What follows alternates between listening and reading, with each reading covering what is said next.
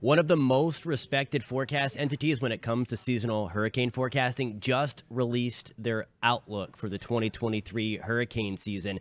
I'm certified meteorologist Jonathan Kegges, and in this video, we are going to look at the fresh outlook for April. They do a couple of these leading up to hurricane season and in season as things become a little more clear, of course, as you get closer and closer to the season itself. So we're going to go over what the folks at Colorado State University are predicting. There's also the probability of impacts in terms of landfall. So we're going to break that down as well. There's not a clear cut region to focus on this year, but we're going to talk about that. And then some of the forces that are driving this upcoming hurricane season.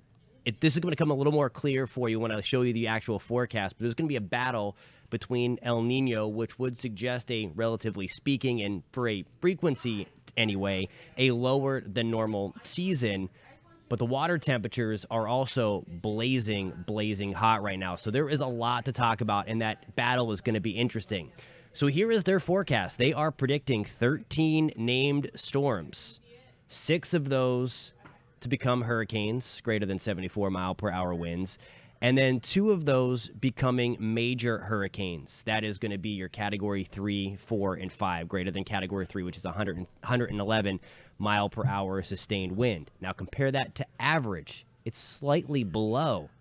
Average is 14 named storms, seven of those becoming hurricanes, three becoming major.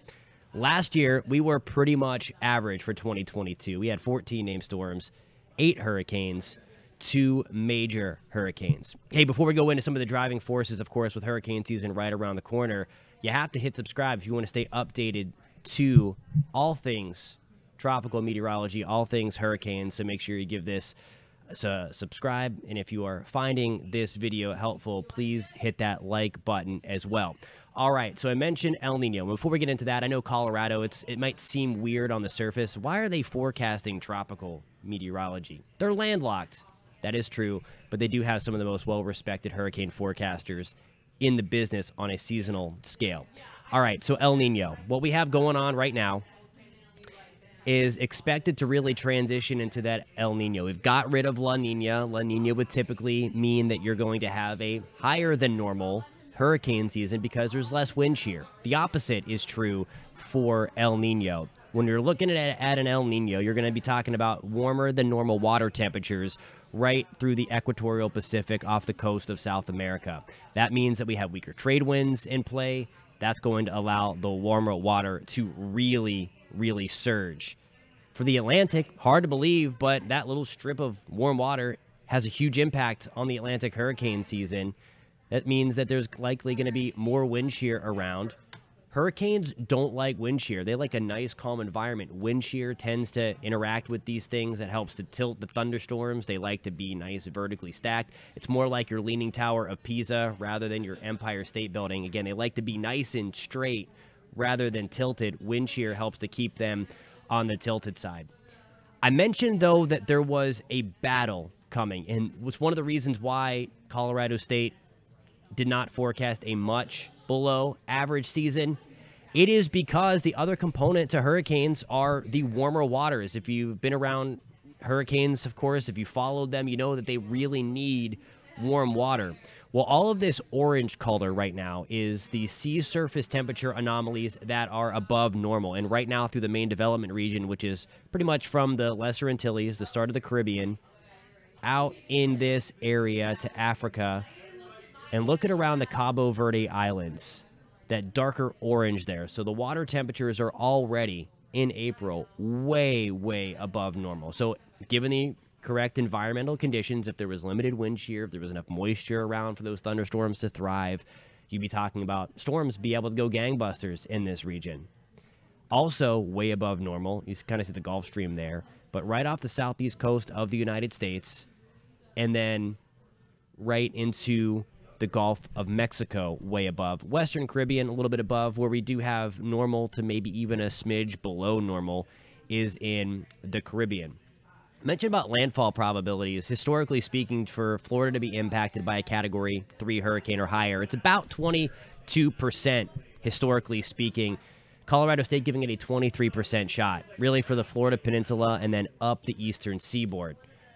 Really, the same deal for the North Gulf Coast as well. All in all, they're expecting a 44% shot for a Category 3 to make landfall anywhere along the United States coastline. So we're going to be watching that. Now, as mentioned with the El Nino, one of the areas that it does look like from a widespread standpoint where we are going to see limited activity is in the Caribbean. This is the area that we would typically see the wind shear really having a strong impact. There's also more stable air in here. It's also drier, so we are expecting things to be on the quieter side from the standpoint of the Caribbean. But again, it's going to be interesting to see this battle between a strengthening El Nino and really hot off the press on April 13th.